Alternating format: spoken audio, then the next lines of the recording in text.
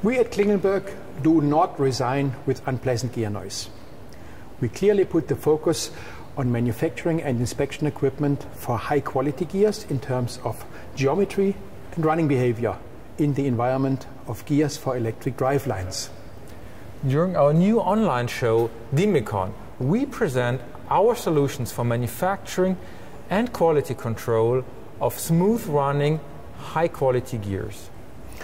We will explain you the origin of gear noise, starting from the tooth, tooth mesh itself up to the system response of the complete driveline.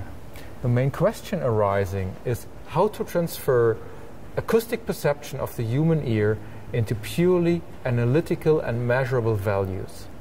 For this purpose, we would like to present our new R300 roll test machine. This machine will help you to detect gear noise by applying analytical methods of roll testing.